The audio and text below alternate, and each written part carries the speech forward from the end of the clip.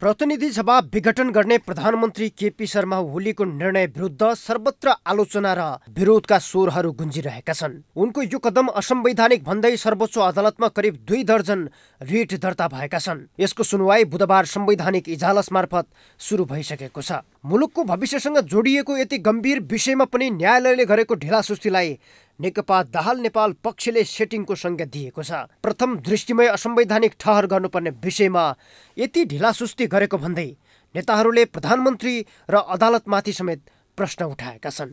अदालतमा पनि सेटिङ मिलाइया छ। निर्वाचन आयोगमा पनि सेटिङ मिलाइया छ। त्यसैले संसद पुनस्थापित पनि हुँदैन।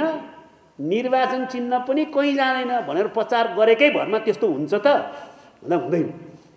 के संवैधानिक अङ्गहरूले स्वतन्त्र ढङ्गले स्वच्छतापूर्वक काम गर्न सक्दैनन्?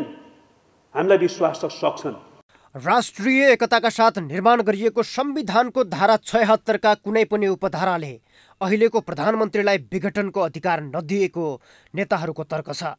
जुन बेला संसदले सरकार बनाउन सक्ने अवस्था रहँदैन वा सरकार बने पनि विश्वासको मत पुग्दैन त्यति बेला चुनावमा जाने गरी संसद विघटन हुन सक्ने अवस्थाको चर्चा मात्रै संविधानले गरेको उनीहरूको दावी छ।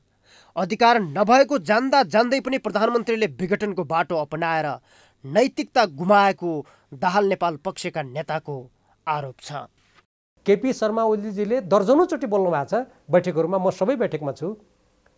अब उपरान्त प्रधानमन्त्रीलाई प्रतिनिधि सभा विघटन गर्ने अधिकार छैन।